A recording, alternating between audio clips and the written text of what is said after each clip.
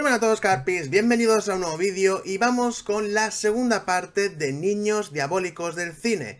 Hoy vamos a presentar a cinco películas en las que los niños son bastante cabroncetes y vamos a dar a conocer algunas que a lo mejor pues mucha gente no conoce. Nada, espero que os guste esta segunda parte para ver si continúo con este, esta serie, que la verdad es que tengo bastante material, así que nada más. ¡Comenzamos!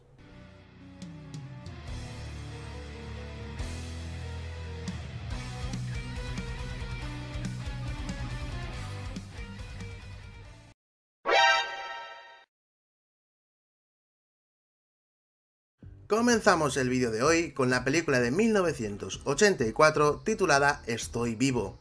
Esta entrega escrita y dirigida por Larry Cohen cuenta la historia de terror de un bebé deforme que, sin explicación alguna, ha nacido con instintos asesinos. El día de su nacimiento, escapa del hospital y los padres del niño empiezan a ser el centro de la atención pública. Es la primera película de una trilogía dirigida en su totalidad por Larry Cohen, y en 2008 se realizó una nueva versión o remake de esta historia. Las secuelas son Sigue Vivo de 1978 y Está Vivo 3, La Isla de los Vivos. En la segunda parte, un trío de horribles bebés mutantes amenazan la seguridad de los habitantes de una ciudad, y en la tercera, un hombre que fue padre de un bebé monstruo logra prevenir el mal confinando a todos los monstruos en una isla desierta.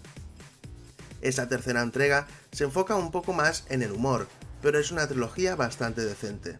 Eso sí, os recomiendo que el remake no hace falta que lo veáis porque es bastante malo.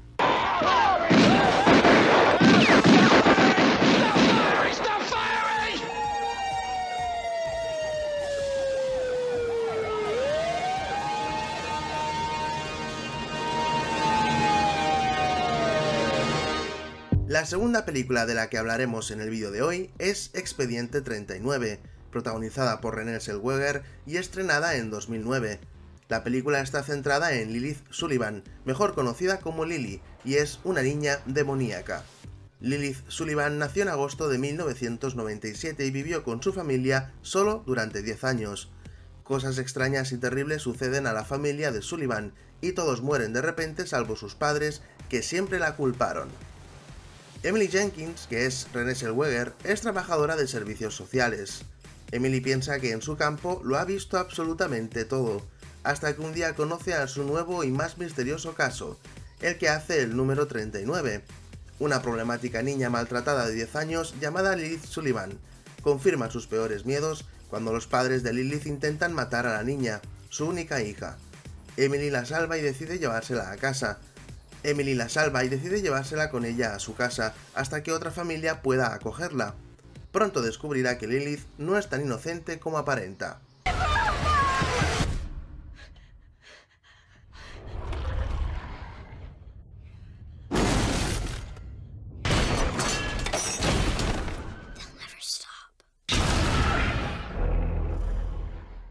Ahora quiero hablar de Eden Lake, que con la tontería ya han pasado 10 años desde su estreno en 2008. Protagonizada por Kelly Reilly y Michael Fassbender, la película narra lo que le ocurre a esta pareja que está de escapada romántica, en la que él planea pedirle matrimonio. Sin embargo, en el tranquilo lago Eden se encuentran con un grupo de adolescentes problemáticos que convierten lo que puede ser un fin de semana paradisiaco en su peor pesadilla. En eso nos vamos a centrar, una pandilla de niños problemáticos que hacen gamberradas pero saben dónde están los límites. Todos menos el jefe de la banda, un psicópata en toda regla que proyecta con mano de hierro su despotismo, haciendo que los demás hagan los mismos actos delictivos que él. Los niños en general son bastante cabroncetes y solo hacen pasar muy mal a ambos protagonistas. Puede llegar a ser una película cruda, y ese final, sin duda, deja un mal sabor de boca tras su visionado. Los que la hayáis visto sabéis a qué me refiero. Sin duda, una película muy recomendable.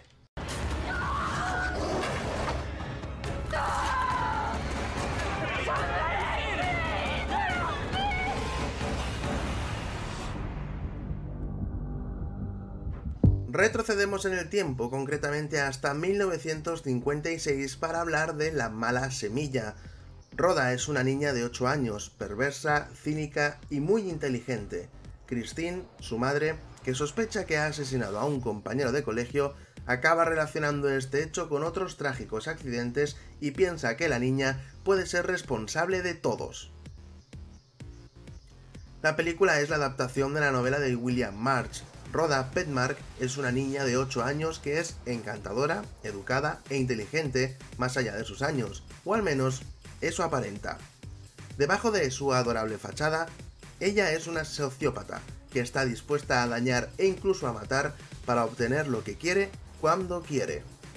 También es una estafadora precozmente talentosa, experta en engañar y manipular a los adultos. Sus trucos no funcionan en otros niños que pueden sentir su verdadera naturaleza y poder evitarla.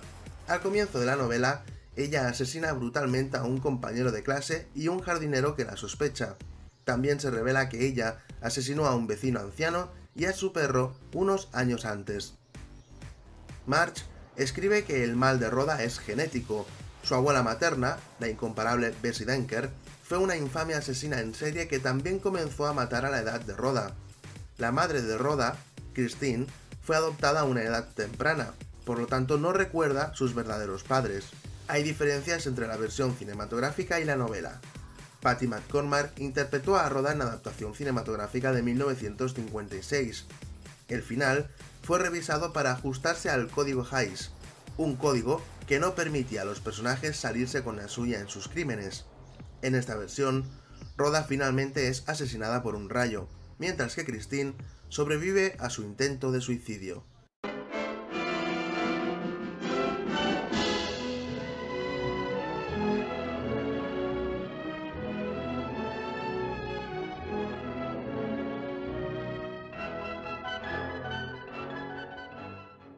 Y terminamos el vídeo de hoy con Ojos de Fuego o Firestarter de 1984, adaptación de la novela de Stephen King.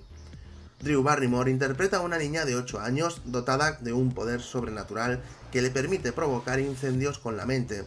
Esta incontrolable y peligrosa habilidad fue adquirida por la niña a raíz de un experimento respaldado por el gobierno de Estados Unidos, que pretende explotar este don como un arma secreta. La película tuvo una secuela directa para televisión, donde se sustituyó a Drew por Marguerite Moreau, y se centra en la niña con 20 años, en esta entrega se habla de John Rainbard, un maníaco que ha formado un grupo de jóvenes con diferentes habilidades. Con ellos quiere conquistar el mundo y Charlie es la guinda que le falta a su maléfico plan, y no parará hasta salirse con la suya. Aunque la primera entrega tuvo críticas mixtas, es la única que yo recomiendo ver.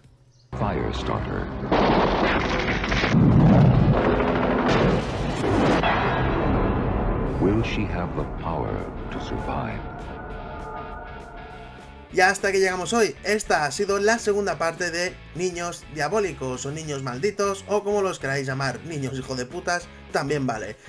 Espero que os haya gustado, me gustaría que comentarais si conocíais alguna de estas películas, si habéis visto alguna, si no, si os gustan y todo eso, como siempre. Muchas gracias por ver este vídeo, ya sabes, dale like y comparte para más. Adiós.